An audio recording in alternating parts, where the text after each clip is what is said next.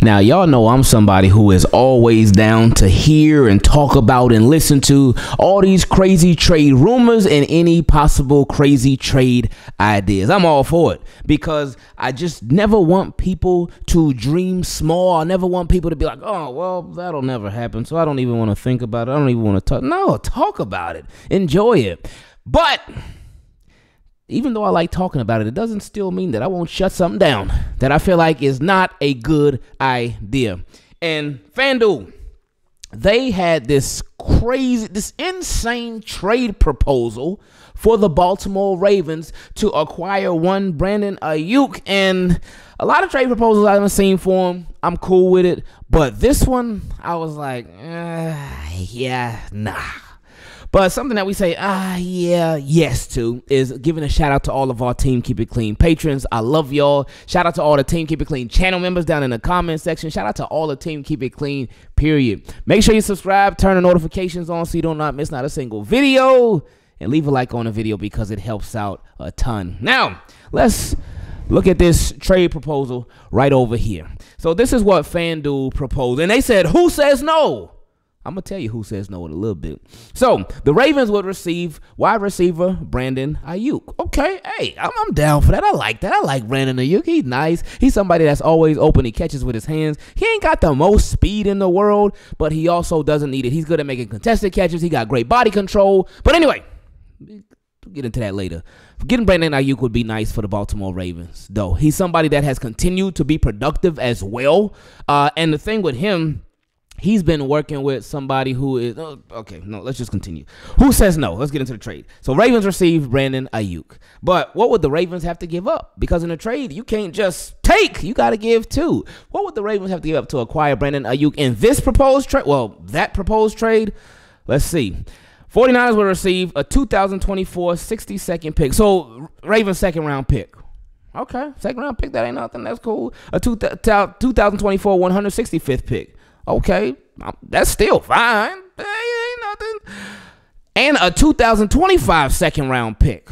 So two second round picks and another pick. Oh, all right, cool, whatever. Two seconds for Brandon. Oh, yeah, cool. And Rashod Bateman. Hold up now, buddy. Now look, look. I know uh, a lot of Ravens fans have even talked about the possibility of trading Rashod Bateman, him being included in a trade for Brandon Aiyuk. But giving up all of this and Rashod Bateman for Brandon Aiyuk, I, I just, I'm sorry. I, I, that would be a no from me. It, it really would because that's giving up too much, in my opinion. Like, if the Ravens gave up first round pick, pick number 30 for Brandon Aiyuk, even if they gave up like a second and a third, second and a fourth, uh, second and a fifth and sixth, second and a fourth and fifth, cool because Baltimore Ravens they still gotta pay him. Brandon Aiyuk ain't just trying to get traded and they be like, oh okay, everything's jolly now. No, he's trying to get paid too. So the Baltimore Ravens will be receiving a player, but they gotta pay that player as well. So when you gotta pay a player a significant amount of money especially one that you don't typically do. You know, the Baltimore Ravens. But anyway, if you got to pay that player, then you should be able to give up a lot less. Just my opinion, though. But it's not over there because while that trade scenario is one that I would not be for, there's another option out there.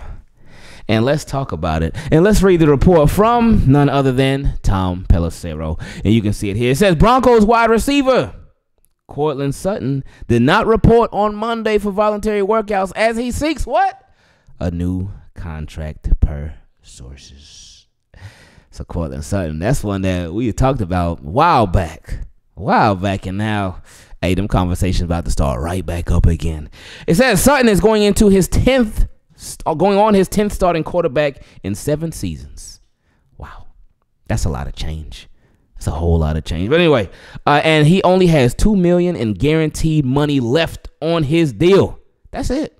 Two million guaranteed.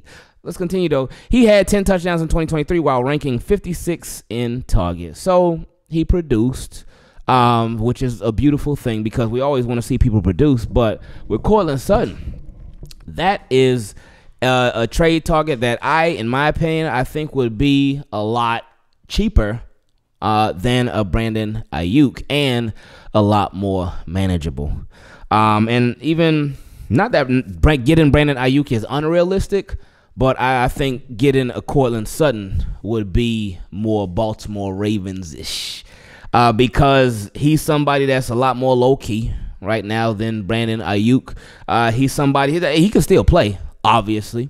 Uh, and I think the Ravens, they I, I'm pretty sure don't quote me on it, but I'm pretty sure they tried to, tried to get him like a couple of years ago. They were interested in him like a couple of years ago. I'm pretty sure because the Broncos' other receivers were Jerry Jeudy. They weren't interested in him, and it was Tim Patrick. He used to be a Raven years ago. Was it Tim Patrick or Courtland? I know it was Tim Patrick that used to be a Raven years ago, but. I'm trying to think if it was Tim Patrick or Courtland Sutton that the Baltimore Ravens were interested in. I'm pretty sure it was Courtland Sutton, but obviously nothing happened with it. So if that was the case, this would just be them circling back around again, like they love to do for a lot of players. And really, on that second time, that's when they end up getting them. Um, but calling some somebody that because uh, I know a lot of Ravens fans have been talking about the big body wide receiver. Ravens need the big body wide receiver. They need a big jump ball wide receiver, and that's Courtland Sutton in a nutshell. That's him literally all day, every day. Um, he could definitely come into the Baltimore Ravens and just be that guy. Now, um, what what I've been continuing to say is that while I, I do expect the Baltimore Ravens to make a move uh, at the receiver position for somebody of significance, um, I would hope that they could do it and keep Rashod Bateman. And I get it. I know business is business, and you can't keep everybody. Um, but I would hope that they could still keep Rashod Bateman. Um, that would be my dream scenario for this year at wide receiver. Baltimore Ravens do an upgrade and they keep number seven. So we'll see how that ends up shaking out. But I got a, an email and a question from my guy Javo at the receiver position. A couple of questions. Number one, he asked, How come the Eagles and all these other teams got so much cap for players, but we don't. And he said that after the Philadelphia Eagles they signed DeVonta Smith to that big, I think, $75 million extension. Well, um, they are able to do that because of the way that they structure the deals. And they use a whole lot of void years on those deals to really stretch it out, to really maximize their spending. They put a lot on a credit card and they're like, all right, we'll make the minimum payments on that credit card every month, but we ain't paying the balance off all the way. But we're going to keep spending. We're going to keep on doing it. And I ain't mad at them at all. I ain't mad at them at all. I know people tend to say, oh, yeah, you kick the can down the road. Well, you're going to have to pay the price in the long run. I mean, when is that going to be? For them, I mean, you see the Saints every year. Saints be like, be like Saints be like 200 mil over the cap every year. And uh, then they, they find out they, they restructure deals. They end up uh, still signing people and whatnot. They still end up getting under every single year. People been talking about the Saints for years. But um, with the Eagles, the Eagles been the new team to really uh, really find a new way to spend that bread. Um, so it's void years, and I'm sure it's something else too. Uh, but the Eagles, they they get it done because they be going crazy with it. But his other question, speaking of wide receivers, he said, if you could only trade for one, who would it be? Brandon Aiyuk. Okay, I like that. Or DK Metcalf. Oh, if it's me, it's DK Metcalf all day. Uh, reason is DK Metcalf. DK Metcalf, he got he got some great speed. He got good hands. He be dropping some every now and then. I, I feel like Brandon Aiyuk's hands are better than DK Metcalf's, but uh, DK Metcalf, a YAC monster. Both of them are YAC monsters. Um, both of them, if plays break down, D, I feel like DK Metcalf will be a slightly better fit for the Baltimore Ravens than a Brandon Aiyuk. But again, for me, I mean, for the Ravens, it's a win-win either way. But if I had to choose one, it would be DK Metcalf. Another reason, his contract is already set. Contract is already set. I mean, he may want a little raise or something, but his his contract is already set. And then with DK Metcalf too, you think about situation.